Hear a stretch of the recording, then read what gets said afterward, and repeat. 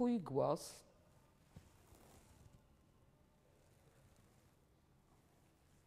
Twój wybór.